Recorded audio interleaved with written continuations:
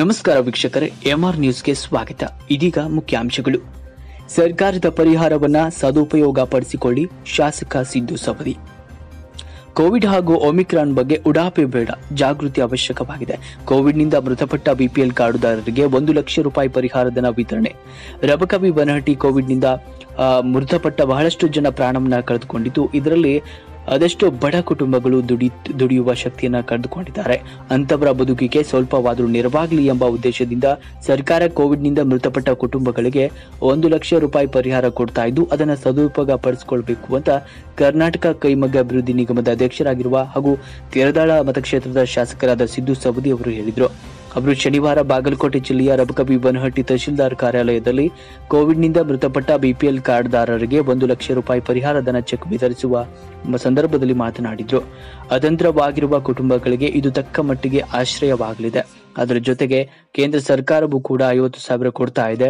ಅದು ಕೂಡ ಸದ್ಯದಲ್ಲೇ ಬರುತ್ತೆ.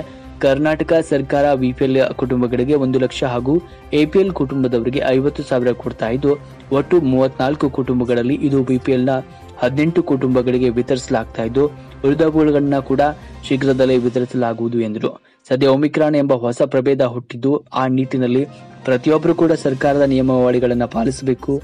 ಮಾಸ್ಕು, ಸ್ಯಾನಿಟೈಸರ್ ಬಳಕೆ, ಎರಡು ಡೋಸ್ ಲಸಿಕೆ, ಎರಡು ಡೋಸ್ ಲಸಿಕೆಯನ್ನು ಪಡೆದುಕೊಳ್ಳುವುದರೊಂದಿಗೆ ಈ ಮಹಾಮಾರಿಯನ್ನು ಹಿಮ್ಮಟ್ಟಿಸುವ ಸಲುವಾಗಿ ಎಲ್ಲರೂ ಕೂಡ ಕಡ್ಡಾಯವಾಗಿ ಸರ್ಕಾರದ ಕಟ್ಟುನಿಟ್ಟಿನ ಕ್ರಮಗಳನ್ನು ಪಾಲಿಸಬೇಕು, ತಮ್ಮ ಕುಟುಂಬದ ರಕ್ಷಣೆ ಮಾಡಿಕೊಳ್ಬೇಕು ಅಂತ ಆಗ್ರಹಿಸುತ್ತೇನೆ ಎಂದರು. ಈ ನಿಟ್ಟಿನಲ್ಲಿ ಉಡಾಪೆ ಬೇಡ ಅಂತ ಜಾಗೃತಿ ಮೂಡಿಸಿದ್ರು. ರೋಗ ನಿರ್ಮೂಲನೆಯಲ್ಲಿ ತಮ್ಮೆಲ್ಲರ ಸಹಕಾರ ಅವಶ್ಯಕವಾಗಿದೆ.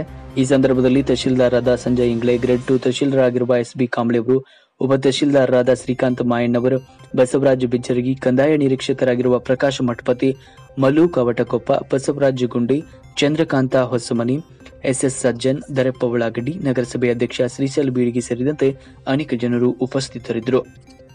ವರದಿ, ಮಲ್ಲಿಕಾರ್ಜುನ್ ತುಂಗಳ್ ಮುಖ್ಯ ವರದಿಗಾರರು, ಎಂಆರ್ ನ್ಯೂಸ್, ಬಾಗಲಕೋಟೆ. ಇದಾಗಿತ್ತು ಈ ಹೊತ್ತಿನ ಸುದ್ದಿ. ಇನ್ನಷ್ಟು ಸುದ್ದಿಗಳಿಗಾಗಿ ನೋಡ್ತಾ ಇರಿ ಎಂಆರ್ ನ್ಯೂಸ್. ಪ್ರತಿಕ್ಷಣದ ಸುದ್ದಿಗಳನ್ನು ನೋಡೋದಕ್ಕೆ ಈಗಲೇ ಎಂಆರ್ ನ್ಯೂಸ್ ಚಾನೆಲ್ ಅನ್ನ ಸಬ್ಸ್ಕ್ರೈಬ್ ಮಾಡಿ.